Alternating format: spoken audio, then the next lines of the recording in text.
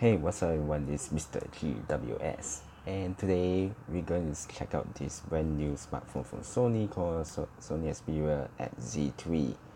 Yes, this is the first phone, yes, the first Sony, Sony Xperia XZ smartphone to feature the OLED panel and also the resolution also kicks out with the QHD plus rather than Full HD plus which is you know 1080 I guess.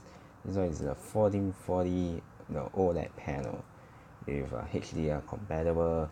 Of course, just like the XZ2, the display is also you know, can be up converted to HDR from your standard videos.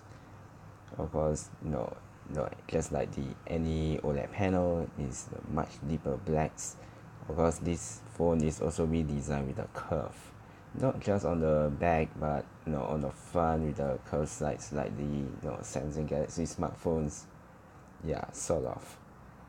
Of course you know the phone which also has more than dust resistance uh, Corning Gorilla Glass 5 uh, of course the fingerprint scanner is also awkwardly placed on slightly below than it should. Of course the camera is also the same 90 megapixel shooter with A_I technology whatsoever. Of course the front also improved from 5 to 30 megapixel with f 1.9 of course this phone is also can record 4K HDR video. Yep and of course it has a stereo speakers on the front with high res audio which using know doesn't have a headphone jack but more or less relies on the headset because it runs Snapdragon 845 with 4 gigs of RAM and 64 gigs of storage unfortunately. Yes it's the same uh, more or less the specs wise uh, than the XZ2 of course it also can spend uh, via micro SD card. Let's see about that. Yep micro SD oh it's a 5 megapixel. Oh my god you can't be serious right? I thought it's a 13 yeah and the battery is slightly you know improved to 3330 milliamps.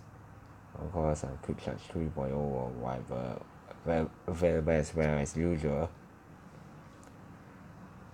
But just to make sure oh yes it's a it's 30 megapixels. Maybe that was is just a mistake or something.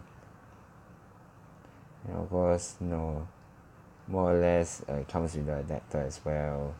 Uh, it also has HD audio you know from the Bluetooth. Of course whatever Bluetooth headset that supports it. So you know is it a really surprising phone from you know from any perspective? I would say no. But uh, but I guess the color is much more attractive this time around besides the black and white. Uh, the green and the the violet or red whatever you want to put it it looks really attractive. And of course the I think the I think the top or width I think is much more improvement over the XZ2 which is you know quite thick.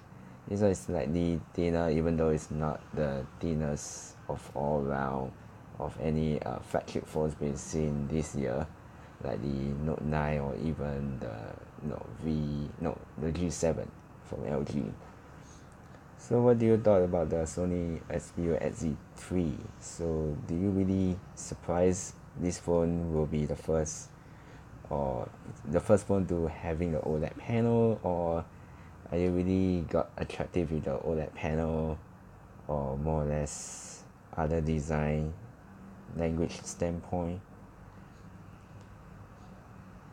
me personally I felt that it's kinda unsurprising since the design is pretty much very similar to the XZ2 more as well call the XZ2 plus where the XZ3 since the XZ3 yes sorry XZ3 might be a lot different but more or less unfortunately it's more or less the same. How should I put it and yes this is the first phone to run Android 9.0 Pie yes the first uh, third party smartphone. I think if I'm not wrong the XZ one is the first phone using uh, Android Oreo. Maybe someone will correct it you know.